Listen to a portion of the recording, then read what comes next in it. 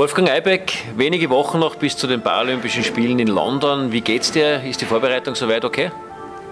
Ja, soweit ist die Vorbereitung eigentlich okay. Ich habe mich auch von meinem Sturz, jetzt, das ist jetzt circa vier Wochen her, auch sehr gut erholt, sage ich einmal. Es hat mir, glaube ich, wenig gekostet von der Substanz. Gegenteil, es ist eher positiv. Es hat doch einige Tage, wo ich mich ein bisschen erholen habe können, noch einmal in mich gehen und, und, neue Kräfte sammeln und jetzt starte ich eigentlich voll durch und, und, momentan bin ich in einer Phase, wo ich sehr viele Stunden am Rad trainieren muss und, und, und äh, viele Krafteinheiten und dann die Wochen davor wird es dann weniger werden und dafür aber intensiver und kurz davor wird wahrscheinlich mein Trainer das überhaupt ein bisschen rausnehmen, damit dann die Form kommt.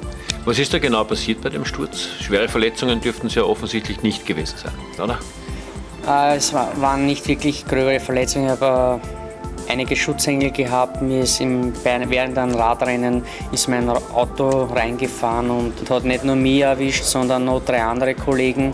Und mir hat es aber am schlimmsten äh, erwischt, aber allerdings auch trotzdem, ich habe riesen Glück gehabt, dass also nichts gebrochen ist und ein bisschen im Gesicht, ich bin da genäht worden, Oberlippe, da über die Augen. Du bist ein versierter Paralympics-Teilnehmer, fast ein Medaillengarant, kann man sagen. Du hast auch Silbermedaille gemacht in Peking. Was ist für London möglich?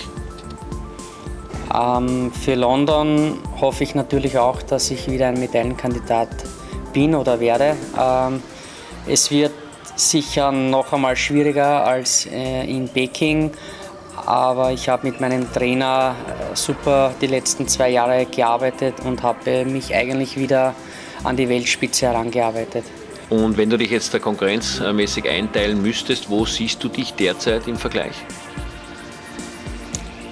Also ich sehe Chancen im Zeitfahren auf dem dritten Platz, wenn alles optimal läuft.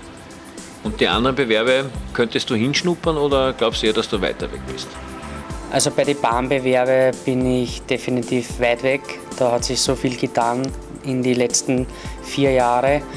Und beim Straßenrennen ist es immer ein bisschen Glückssache. Äh, da werde ich natürlich auch alles geben, aber ja, schauen wir mal, was rauskommt.